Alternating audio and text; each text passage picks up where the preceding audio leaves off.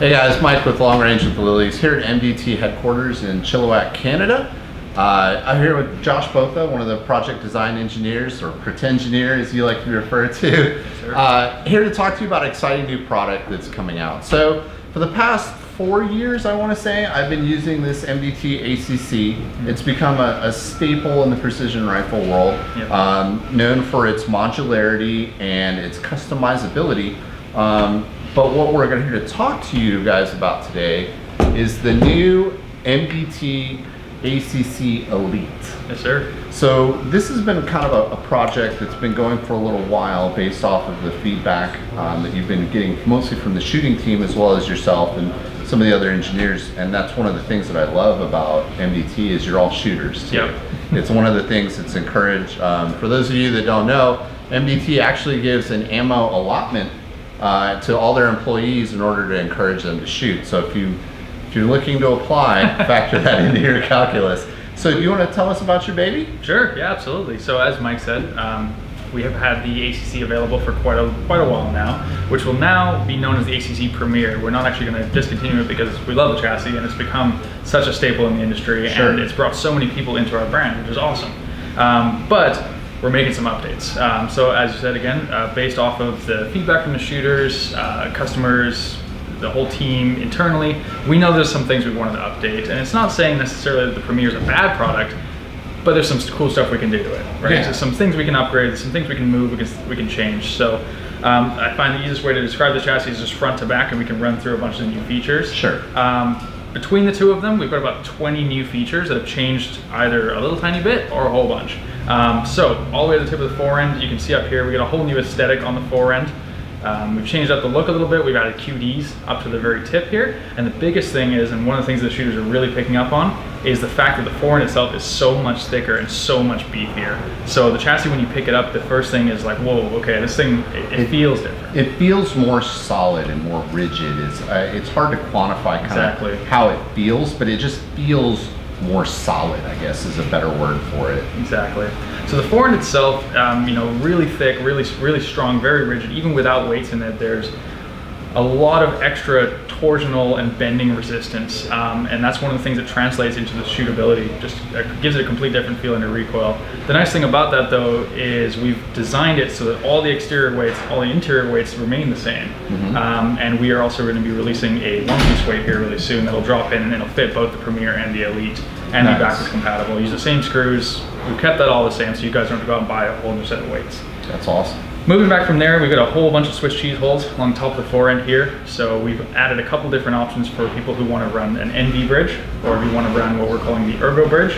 Um, basically anything that caps over top of your fore end, it doesn't fully conceal it, you can pop it off easy. Um, if you want to switch out your barreled action or something like that, but it gives you the option to add fore end accessories on here and they're stackable as well. I unfortunately don't have any on me. Sure. Um, but they bolt right on top of the chassis here you are able to reach up and grab over top of your barrel without having to grab onto the actual hot barrel um, or influence your point of impact at all or anything like that. And a, they will bolt on, stack up all along here. You can usually stack three or four of them wherever you need them. Um, and basically, you know, give yourself more options on your fore end, right? Sure. Um, the NV bridge is not canted, so it is at a zero MOA, but unlike a lot of the other NV bridges we've tried in the past, it is set to the correct height, meaning it's much, much lower down to the bore center line, such that you don't have to run an extremely tall scope rings to actually get an NV clip-on optic on that. Right, so that's, that's super important for those guys that are running NV optics or thermals, and um, there's an entirely growing market of predator hunters that are really you know, scooping this stuff up, and if they don't have to change out what they're using for competition, they can just go in and slap it right on top. That's, that's a huge bonus.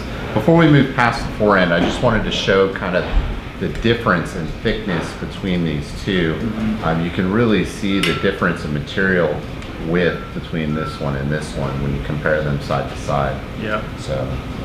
Yeah, yeah, it is a it is a pretty big uh, significant increase, and we've also kept some of the things that we kept or we introduced on the Gen One. So M-LOK all along the sides, The underside is very similar, but we've actually removed M-LOK where we didn't find it necessary. So almost no one ran any M-LOK accessory at the back here. Yeah. We just took it out. It Sure. wasn't doing anything, so why keep it, right? Um, but for you guys who are still mounting dedicated bipods, uh, like an Atlas or a ground pod or something like that onto the Picatinny, you can still slap your rail on the, top, on the tip here and off you go.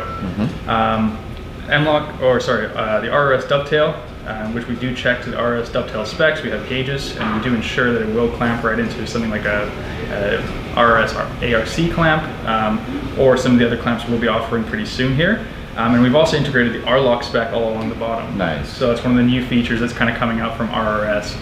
So all these little tiny holes you see all along the bottom are designed to basically index your bipod or your tripod. And if you're shooting something with really heavy recoil and you don't want your gun to be sliding around in the recoil, which they can do, these help just lock everything in place. So it's a really super handy feature. Yeah, you won't have grip tape on there. That's kind of a custom uh, demo model edition. Yes.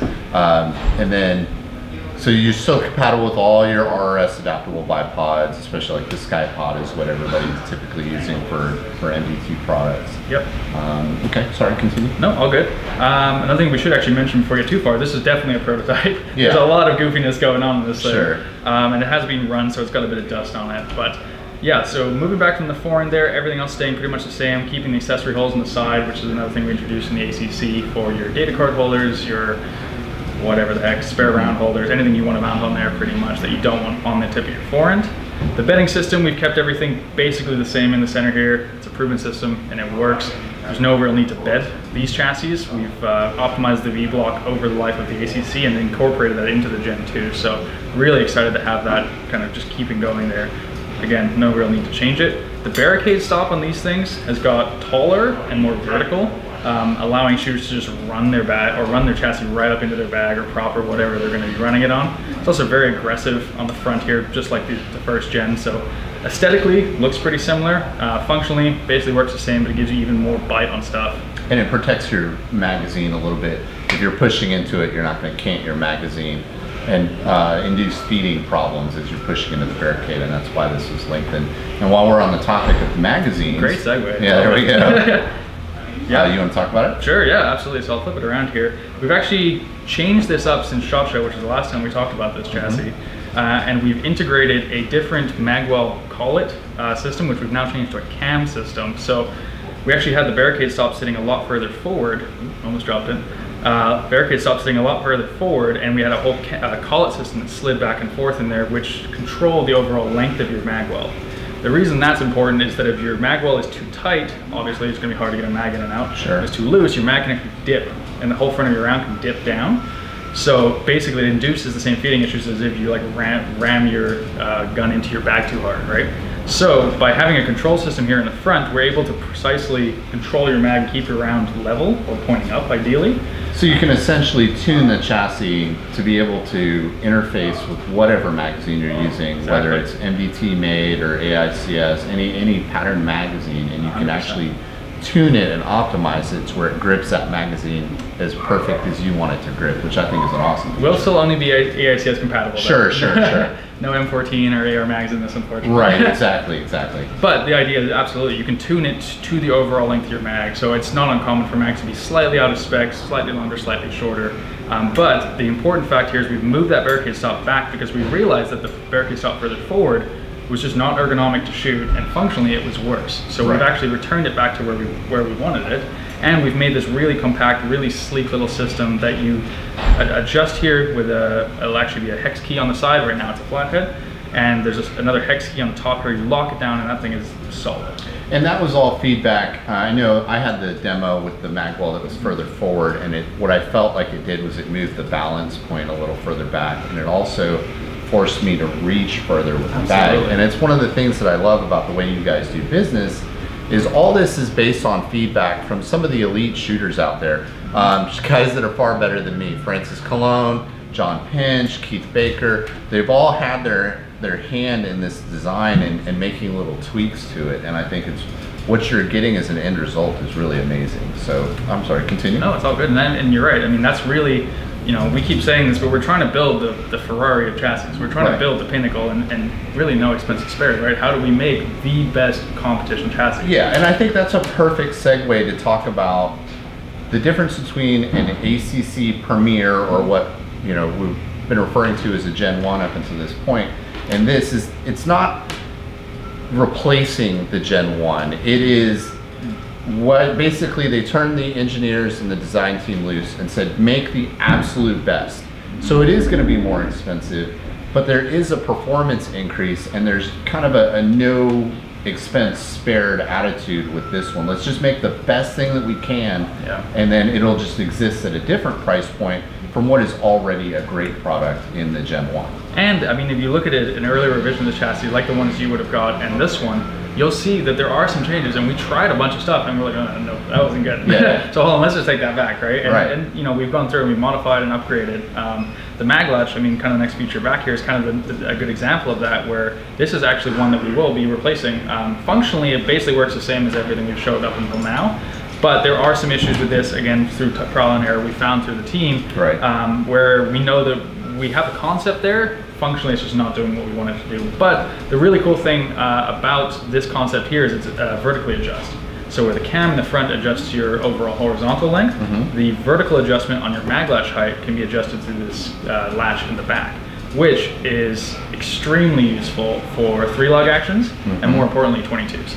So if you've got a Vudoo, you've got a RimX, you've got something like that that feeds out of an AICS pattern 22 mag, adjusting your mag latch height is paramount. Okay. So that's one of the things we were really excited about. It's uh, plus one and a half millimeters, or about 60 thou, and down two and a half millimeters, and that's uh, 80, 90 thou. I appreciate you translating Canadian and American there. I It'll be bilingual, my friend. so we've got the uh, ambidextrous mag latch. It'll look and feel and function just like our normal one, but it gives you all that cool adjustment in the middle there. Um, everything else in the middle of the body is pretty much the same, but then, well, actually, I guess I can also mention that the whole center section here also got thicker. Basically, anywhere where we could thicken up the chassis, we did. Yep. We just said, okay, well, like, how do we reduce vibration? How do we re- reduce that tingy noise? How do we increase rigidity? And, it, you know, the byproduct of all of this is it increases your accuracy and it changes the way the chassis feels. So, coming back to the next step, um, we've got these thumb shelves on the side. Again, this is a prototype one, 3D printed, but we do have a little M-LOK slot. You can kind of see on this side here. A little M-LOK slot. It is actually M-LOK compatible, so if you wanted to mount an M-LOK accessory there, Sure. don't know what that would be. Um, you could, but we've got the thumb shelves in here. But the nice thing about it being a slot is that you can adjust your thumb shelf back and forth, rotate it, and you can sit up on either side. And I believe we're actually shipping with Ambi as well. So you Nice. have left side, right side. Um, or if you wanted to remove it and add whatever the heck, a timer or something, you could throw it in there as well. Level, who knows. Um, then we kind of get into like the meat and potatoes of what the big changes are. So the forend's been a really, really big change, but the other huge change for us has been this whole buttstock system. And this is really what drove a lot of the development on this chassis. So again, sticking with the theme of adding rigidity everywhere, you can see now the buttstock goes all the way straight back and translates the recoil like as direct into the shooter's shoulder as we can. Yeah, so if we compare the differences here where the material comes down and, Exactly. and then back up, now it's transferring that recoil more in a straight direct line. Exactly. So that's straight, straight direct line. And we've also added this extra connection point from the bottom of your grip all the way up through your buttstock, which is completely modular. You can remove it if you don't want it. Um, some people hate the aesthetics of it. Some people just don't like having this bar in here. Um, so it's completely up to you. If you do not want that and you just want to run a standard elite grip or premier grip or whatever, just pop this off. Um, and you don't you don't need to run it. So. But we're finding it does help transfer the recoil in a more solid feel as opposed to having a hinge Exactly. point here. Now the recoil is moving kind of as one unit. Exactly. So we actually did quite a lot of uh, FEA testing and SolidWorks based testing just to see the stress if we applied a thousand pounds of force on the back here, which is an extreme amount of force, what would happen to the buttstock. And what we found with the old buttstock is that under extreme conditions, it would flex in a much different way that this would. And what that does is it translates to the shooter for additional accuracy, Okay. right? So by connecting everything in here all the way through and giving it that extra rigidity, you're getting improved performance, less vibration, and increased rigidity. And the end goal here is more accurate, right? More accurate, right. shot and more repeatable, right?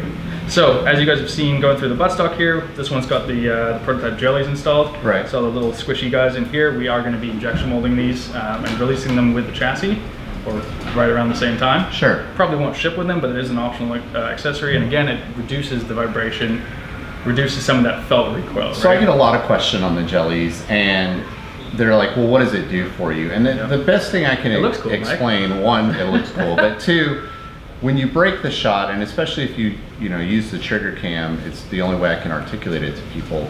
Your image vibrates a little mm-hmm. bit and then it stabilizes and it gets clear. With the jellies installed, it just seems to go clear quicker. It seems like you recover your sight picture, your reticle becomes crisp and clear again faster because it does mitigate some of that vibration. I don't want to use the word absorb because I don't think that's the right engineering term, but Yeah. it helps mitigate some of that vibration and that harmonic like tuning fork effect that you used to get.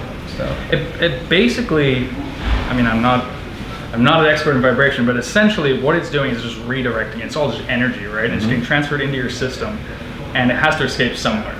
So it's either going to escape by your, your cheek riser doing a whole bunch of back and forth wiggling. It's going to escape by your butt butt pad here doing a whole bunch of back and forth wiggling. Or we take a bunch of that energy that's that's transferred through your whole system here in your buttstock and dissipated out as sound and as energy and as heat. Sure. Right? And it's minor, it's tiny amounts, but just doing this alone, the vibration numbers we have when we release the jellies uh, on the website, we're gonna do a whole release video on them. It's pretty amazing how much they do. yeah, So really excited about those. The pockets here, these will be specific to this chassis, so you won't be able to mix and match, unfortunately, um, which you also won't be able to do on the other ones, but we do have the specific ones for this chassis. Um, and then everything else on here is toolless. So, I mean, of course you're gonna need a tool to adjust your grip back and forth and your accessories, but for your cheek riser, your length of pull, your butt pad height, all of that is toolless. So all the adjustments you would make in the field and on the fly, it's toolless. yeah. So funny story. We found out, Uh, as I just found out, um, I've been turning this wheel and then kind of like forcing this open. And what you can do for those of you at home is you can just push the button and slide it like this, like it's supposed to be, Yes. instead of gorillaing it and looking like kind of an idiot in front of the engineers. But pro tip, uh, yeah, so that works better. Yes, a little bit. So uh, exactly. So we've got these knobs in here. Um, they're just a fairly small diameter knurled steel knob here. Um, clamped down super super tight. So the cheek riser, you got all the adjustment you would see on a normal cheek riser. We've also got a little bit of back and forth. Um, and the butt stock or the, the length of pull on the butt pad, we've really tried to optimize it. And um, instead of having two lengths of butt pad, a short and a long like we currently do, we've actually shrunk everything down. So our minimum length of pull currently is 12 inches. That's Our- super short, yeah. Super short. So for little guys or for people, little, little people, sorry, shouldn't say guys. I mean, Ian. we weren't gonna say Ian, but we're Gonna call gonna say. Ian. All right. Um, they can run it all the way in. They can collapse it all the way down. 12 inches length of pull, that's tiny. Or for Yeah. people who really, really want to get super close up on their gun, they're running a cantilever mount, they're running a short eye relief scope, whatever it is.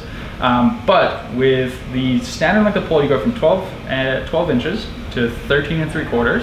And we also have a 1 inch length of pull spacer. So 12 inches to 14 and 3 quarters, unless you're a freaking giraffe, like, it's going to fit you. Right. It's going to pretty much cover everything. Um, so we've got a huge adjustment length of pull. Again, everything is toolless unless you're getting to the one, one inch length of pull spacer, but it's a really quick one tool install. Cheek riser is all toolless, and you've still got all the left and right adjustment, your cant adjustment um, on your butt pad, on your cheek riser. You, you haven't got cant adjustment anymore, unfortunately, but it's a very narrow, very small cheek riser profile, so you, there's no real need to adjust it. Uh, there's no real need that we feel to adjust it, cant it, um, and do some of the adjustments you would do on our older cheek risers because we've optimized this for uh, weak side, strong side shooting, you know, transitioning back and forth, and it'll also be foam covered. Right. So I think we've thrown a lot of good like engineering terms out there, and uh, people will go like, "Okay, Mike, the, the what's the so what of it?" So my impression, I've shot um, the prototypes, and, and this one here a little bit is it feels more solid, for lack of a better way to put it. I feel like there's less harmonic vibration in this chassis versus the old chassis, and some of the shooters are reporting um, a very like significant accuracy increase if you're talking about group size as a measure of weighing it. Um, Francis Colon has some numbers, and I don't want to misquote him, so I don't want to put him out there. But he is such an analytical, data-driven guy, and he's shot hundreds and hundreds of groups, and he is saying, without a doubt, that this is a more accurate chassis Yep. than the uh, than the uh, the previous one. So again, the Elite exists at a level above the ACC Gen 1 or the ACC Premier as it's now being renamed. Yep. And this is kind of your pinnacle. This is your flagship model. Yep. This one is still great. It still does great things. It's won a lot of matches. Um, but now we're getting in just at a little bit higher uh, level with this. So the Well- question everybody's going to ask me: When do we expect to see it open for release? Our projected current release date is September. September of 22. 22. Okay. Um, I'm working as hard as I freaking can to get it out quicker. Okay. Um, because we got a lot of people asking us the same question, and Yeah. I can't wait to have them out there and again winning matches. Um, and one of the things that's really critical on this chassis is that we're doing a lot of things that no one's ever done. Sure. Which is what we love to do. Yeah. I mean, as engineers, I'm always looking to do that, right? But we've done a lot of features, and we've sorry, we've, we've implemented a lot of features, and we've done a lot of um, design on this that no one's thought to do, or no one's tried to do, and no one's explored these different boundaries. And this is the really cool thing about the pro shooter team, right? Is that you guys will say, "Hey, have you guys tried this?" Right? And we're like, "No, why would we do that?" And we try, and we're like, "Oh, this works great." And we've got all kinds of different things we're working on ergonomically, functionally, um, just overall on a lot of these products that are not necessarily specific to this chassis that we're just trying to develop and we're trying the new things, right? And again, it's trial and error, right? Not Sure. all will stick, but yeah, aiming for that September September date right now is what we're going for. Um, probably aiming for about the 16 1700 dollar MSRP Okay. range right now on these guys. They should be launching black FDE and this kind of cool titanium uh, blue is what we're aiming for. And accessories that will come with it, kind of TBD. But as I said, a lot of it's backwards compatible. Yeah, you so all the weights and everything else, if you already own a Gen 1, you can just use those and transfer it over. Yep. Um, Josh, I really appreciate you taking time. We're here at the MDT factory, so if you hear background noise, that's what's going on. They're hard at work tuning stuff out just as fast as they can. I know the demand right now for everything is just Yeah. through the roof. Um, and I'm looking forward to taking this out next week at the uh, NRL Championship. That's your one right now. All right. Well, hopefully I can be the first one to win a match with this thing. We'll see. Okay. I think there's some people out there that might have a vote in that, but we'll see. Anyway, thanks for thanks for having us. Thanks for coming by, man. Yeah.